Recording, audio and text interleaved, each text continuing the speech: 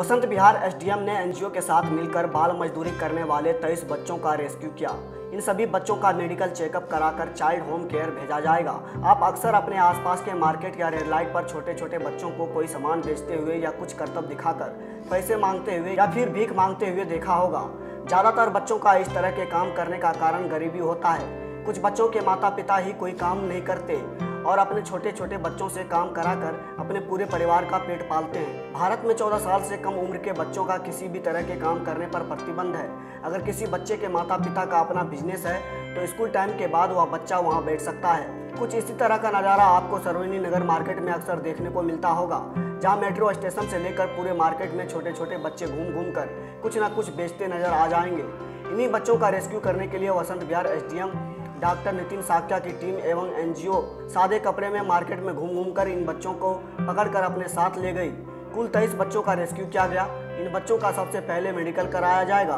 फिर काउंसलिंग कर इन्हें चाइल्ड होम केयर भेज दिया जाएगा। बाद में जिन बच्चों के माँ बाप अपना आइडेंटिटी दिखाएँगे, उन्हें उनके बच्चों को सौंप दिया जाएगा। आज एक मैसिव लेवल पे चाइल्ड रेस्क्यू ऑपरेशन हमने रन किया था जो चाइल्ड लेबल्स होते हैं उनको रेस्क्यू करने का। सो so, 23 हमने बच्चों को रेस्क्यू किया है। इनकी एज जो है पाँच साल से लेके बारह साल तक की इनकी एज है। और बेसिकली ये लोग डिफरेंट तरह की बैगिंग में इन्वॉल्व थे। और कुछ जो लोग थे वो किस किस तरह का सामान बेच रहे थे या दुकानों में कुछ नौकरी करते थे। और अंडर 14 तो किसी भी तरीके से अलाउड नहीं है। इनफैक्ट अगर पेरेंट्स की कोई फैमिली बिज़नेस है, अगर उसको भी ये लोग रन करते हैं तो इनको स्कूल के बाद वाला जो टाइम होता है, उसमें ये इस तरह का काम कर सकते हैं।